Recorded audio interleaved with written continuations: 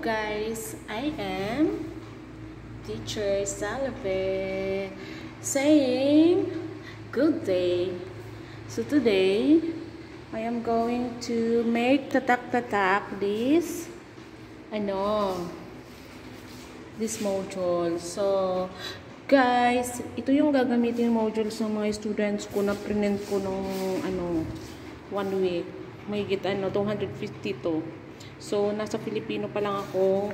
Lalagyan ko ngayon ito ng ano, ng uh, ano, ng school, name ng school para hindi siya maano ng ano, mawala.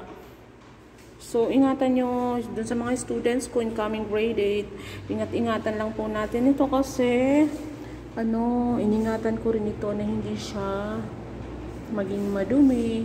So, lalagyan natin ng pangalan ngayon ng school. Kasi yun ang utos sa amin. Lalagyan daw ng pangalan. Lalagyan daw ng pangalan na Capitolina O. Memorial High School, Malintamas, Bari City. So, yan.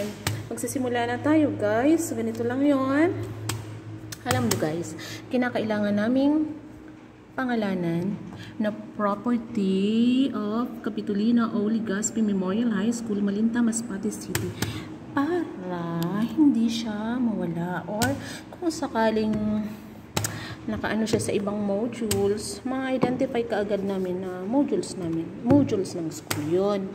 So, hindi siya ano, mawawala. Ayan, lalagyan natin na pangalan. Pero, kailangan, kahit may pangalan na yan, guys, kailangan pa rin naman nating ingatan. Kasi, kapag hindi mo iningatan, pwede pa rin naman siyang mawala, makuha ng iba. Dahil, huwag kang aasa na porke at mayroon ng pangalan, porke may tatak na siya, sayong sayo na. Huwag kang aasa. Dahil ang buhay ngayon ay mahirap na. Mahirap magtiwala. Na yung akala mo sa'yo, yung pala napunta sa iba. Yung yung ano